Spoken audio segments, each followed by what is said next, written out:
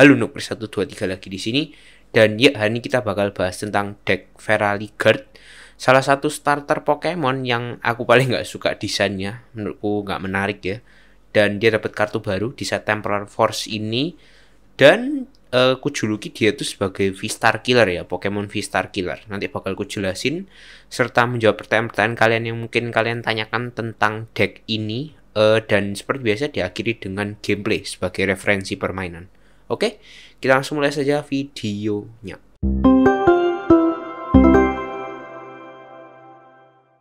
Pertanyaan pertama, apakah deck ini F2P? Seperti biasa dilihat dari tiga sisi, budget, performa, dan universalan atau apakah kartu-kartu di deck ini bisa dimainkan di deck lain juga. Dan uh, deck ini menurutku tidak F2P sih menurutku loh ya. Uh, setelah aku mainkan gitu.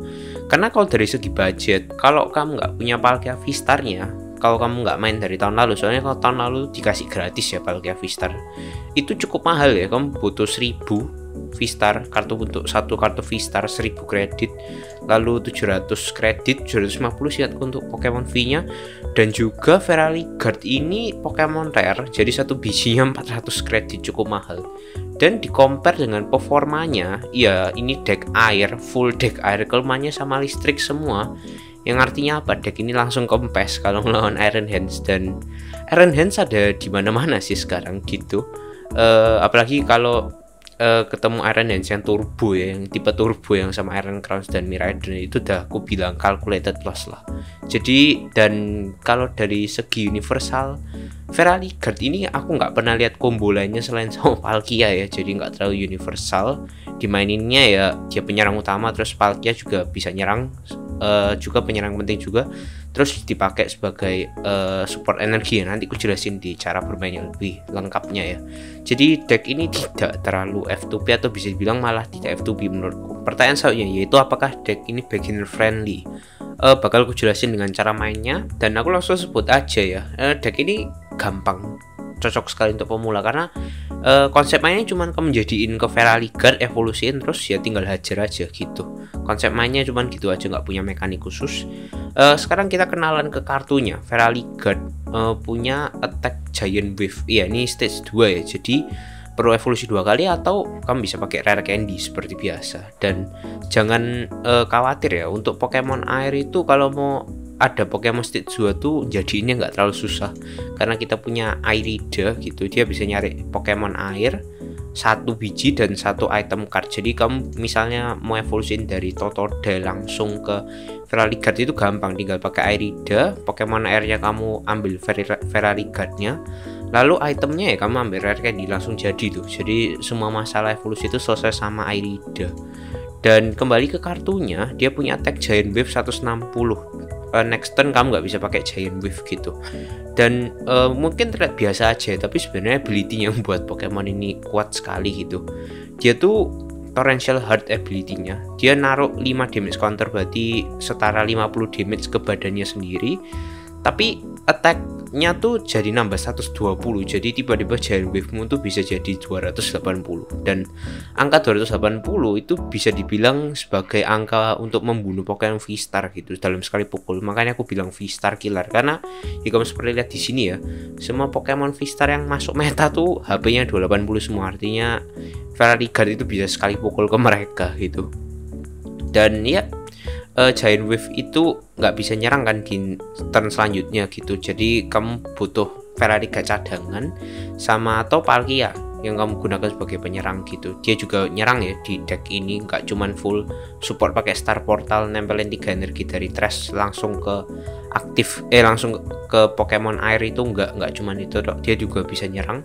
Subspace lumayan uh, max damage nya 260 kalau ada 10 Pokemon di bench kita dan musuh di totalnya gitu. Dan ya gameplaynya gitu-gitu aja makanya aku bilang deck ini untuk pemula. Pertanyaan selanjutnya yaitu jadiin Palkia dulu atau Ferali Guard dulu? Nah seperti yang aku bilang di segmen sebelumnya Palkia ini kan juga menyerang ya. Dan dia tuh bukan cuman selingan aja sih menurutku. Penyerang yang lumayan penting juga. Terutama karena efek Ferali Guard yang nggak bisa nyerang ini di turn selanjutnya. Ya bisa sih kalau kamu switch dua kali ya. Kamu balikin dia ke band selalu Ferrari guard yang sama kamu balikin lagi ke aktif bisa. Cuman itu boros sumber daya gitu. Jadi kalau Ferrari guard keduamu belum jadi atau Ferrari Ferrari guard cadangan belum jadi ya pakai Palkia.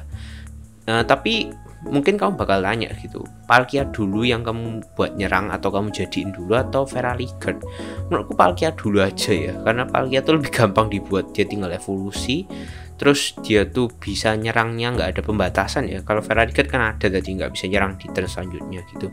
Jadi pakai aja menurutku Palkia dulu sampai mati ya sampai sematinya sampai SKU nya baru uh, ketika start portal udah siap untuk ngeboosting energi ke Ferrari Guard terus Ferrari Guard udah jadi semua baru pakai Ferrari Guard gitu. Jadi kemungkinan Ferrari Guard ini kepakainya di mid ya early mid game gitu nggak bener-bener dari awal gitu kalau aku sih gitu tapi kalau kamu mau jadiin Ferrari Guard dulu gitu bisa-bisa uh, aja gitu. Karena ya sekali lagi kamu punya Airida kamu bisa jadiin Pokemon ini langsung evolusi ke Guard dalam satu turn ya dengan Airida itu. Jadi ya gitu. Pertanyaan selanjutnya yaitu kenapa kamu lebih pilih maximum belt daripada Heroescape? Nah maximum belt ini kan nambah 50 damage ke Pokemon aktif musuh yang Pokemon EX gitu. Sedangkan kalau Heroescape ini gambarnya uh, itu nambah 100 HP kita.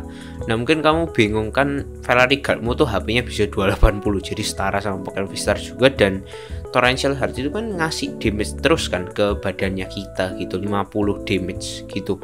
Jadi apakah nggak lebih bagus kalau Pokemon ini tambah tebel gitu daripada kamu tambah attacknya? Menurutku nggak usah lah ya kita tetap jadiin dia nyawanya 180 aja. Dan uh, kenapa kalau lebih milih maximum belt ini? Itu karena matematikanya bagus gitu aja. Karena gini ya kamu bisa lihat di ilustrasi ini Ferrari Guard itu kan dia bisa bisa 280 tapi kalau ketambahan maximum belt dan lawannya itu adalah Pokemon EX yang meta stage 2 kebanyakan yang besar-besar ya HP-nya ambil aja contoh Charizard ya 330 280 itu ditambah 50 itu jadi 330 jadi pas buat KO Pokemon EX yang besar-besar kayak ya Charizard ya paling umumnya. Tapi kan banyak EX stage 2 lain yang besar-besar gitu. Jadinya menurutku lebih bagus buat maksimalin aja ke damage-nya. Karena angkanya tuh bisa sampai angka untuk one KO Pokemon EX yang besar-besar yang kayak Charizard atau stage 2 lainnya gitu. Daripada kamu uh, boosting HP-nya jadi 280 pakai Skip atau pakai yang lainnya. Menurutku ya maksimum belt itu yang paling bagus untuk Ferrari Guard ini. Pertanyaan terakhir gimana komposisi Pokemon di arena terutama di early gamenya? Kayak gini ya dan mungkin kamu bingung loh itu kenapa ada Ferrari Guard dan Palkia dalam satu bagian gitu. Itu uh, bukan aneh ya maksudku. Itu maksudku itu adalah kamu bisa menggunakan Palkia sebagai penyerang pertama di aktif lalu kamu taruh Ferrari Guard di cadangan atau sebaliknya kamu langsung pakai Ferrari Guard di attacker pertamamu lalu Palkia di cadangan gitu sebagai attacker keduanya gitulah ya. Pokoknya intinya kamu siapin dua Ferrari Guard di arena sama satu Palkia itu adalah yang paling penting.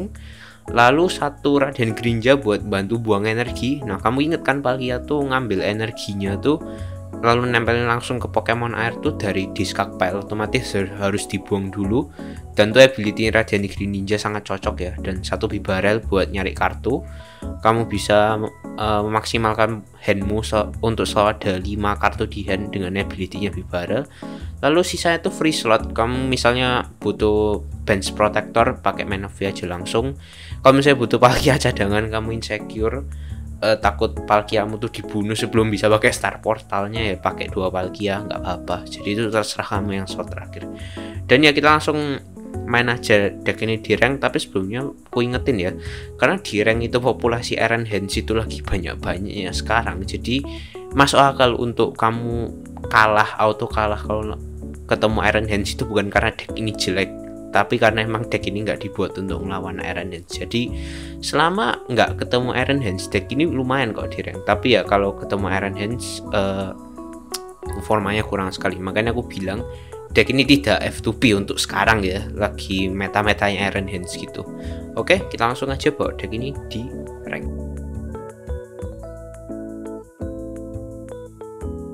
Kita langsung masuk ke gameplaynya ya. Dan kita ngelawan kemungkinan besar Cian tahu karena aku lihat mulligannya dia dia pakai sekali bur. oke okay, uh, dan ya Frigibax ya betul kan berarti. Kemungkinan besar Chen Pao tapi aku takutnya tuh bukan sama Chen Pao nya tapi lebih ke arah kalau dia bawa Iron Hands gitu aja. Karena sekarang Chen Pao tuh sering sekali dikombo sama Iron Hands dan itu mengerikan sekali ya buat tipe air seperti ini. Makanya deck air tuh sekarang lagi melempem karena terlalu kuat Iron Hands itu. Oke Chen Pao kan. Kalau Chen Pao ini nggak takut sih sama sekali aku. Oke kita kita attack kedua ya. Jadi kemungkinan Toto dari di aktif itu bakal ku jadiin tumbal aja. Uh, aku bakal isi totalku yang di cadangan aja. Tapi enggak aku main Palkia dulu aja di awal tetep. Karena kita ada Airida di sini. Kita bisa summon Palkia kita dan di next turn kita bisa Iono ya gitu enak itu uh, kemungkinan Palkia aku udah jadi di tapi itu Oke. Okay. Uh, Menvi ya, Menvi pakai pasti nggak mungkin nggak pakai. Karena ini deck air ya, artinya Radiant Greninja nya bisa nyerang gitu. Uh, Erida, ya ini setup seperti yang bicarakan ya. Ngambil Nestball di sini. Nestball itu buat apa? Buat ngambil Greninja. Aku perlu buat nyari kartu juga di sini. Uh, Greninja, ya, let's go. Nah, ini tempelin satu dulu energi di sini, console card. Oke, okay, nice. Ya. Skip. Terus kita lihat keadaan selanjutnya gimana ya. Kemungkinan sih, kemungkinan oke. Okay. Airida ya. Airida berarti Excaliburnya jadi dong. Ya mati nih total aku bisa bilang langsung aja Toto Jalku ini bakal mati ya oke okay. nggak apa sih emang tumbal itu Krokonaw ini rasanya kok evolusiin deh aku nggak pakai rare candy ya simpen dulu aja kalau misal Toto Jalku mati ya next turnnya paling aku maju terus next ball gue buat loh dia jadiin baik sekali yang ada di aktif. What the hell? Oke okay, ultra ball Oke dia dia belum jadi bibarelnya ya. Atau dia main tanpa bibarel menurutku enggak ya. Dia harus main pakai bibarel oke wow dia berani buang rare candy. Dia udah buang dua rare candy artinya sisa satu. Nggak mungkin orang bawa rare candy empat juara gitu atau ya mungkin orangnya insecure. Oke Luminian uh, mungkin dia bakal pakai Iono. Paling masuk akal dia pakai Iono nya dia pakai Luminion itu buat ngambil Iono. Dan itu sangat bagus ya karena kita ada counter catcher di sini. Jadi Luminion itu bakal aku tarik dulu kenapa aku nggak narik Chen Pao nggak ada gunanya gitu mendingan aku tarik Luminionnya karena Luminion oh dia pakai Morty oke okay. masuk akal dia pakai Morty karena benchku penuh dia bisa ngambil 5, 5 kartu langsung ke handnya dia dengan Morty ya oke okay. loh dia skip buat oke okay. Oke berarti kita selamat dong ini. Oke, uh, Iono ya, Iono dulu, baru nanti Bibara. So, oke, okay. oke, okay. Palki aku jadi, seret. Uh, tapi, uh, aku nggak ada kartu buat dimundurin ini. Oke, apakah harus saatnya ya, Pak? Oh, gini aja kok bingung ini mundur nah kan pas tiga kartu di retreat ya terus ya start portal masalah selesai satu satu satu. Udah beres. Kita nyerang. Pem. Oke okay, nice. Lumayan ya kill back Excalibur. Kalau kita ada boss di sini. Artinya kita bisa langsung tarik luminionnya di next turn. Aku masih nggak tahu kenapa dia jadiin back Excalibur di aktif tadi. Itu rasanya misplay dia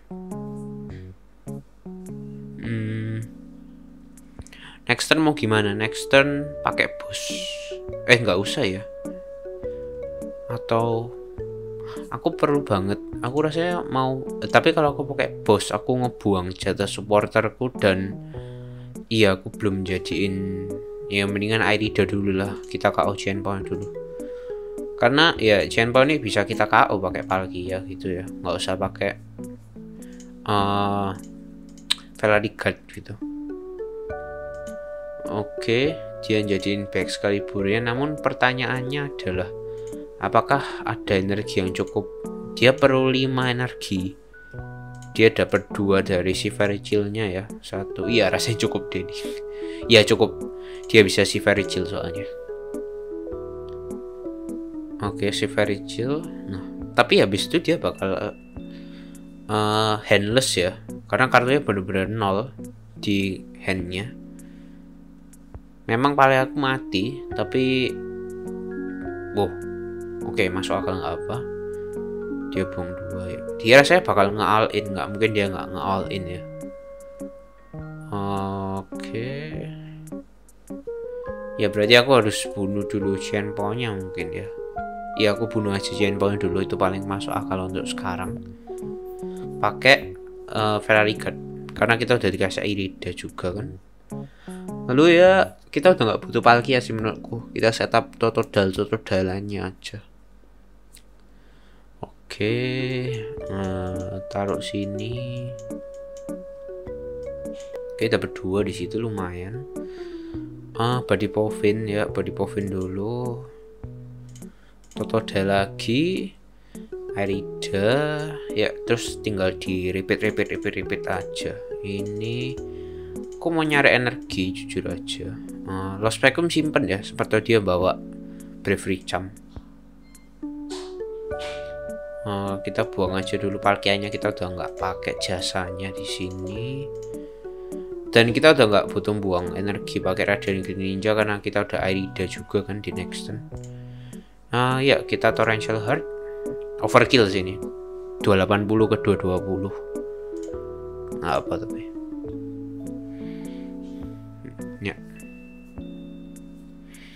Hmm, dua. Oke, okay. next turn ya kita. Oke, okay, nice ada XP share.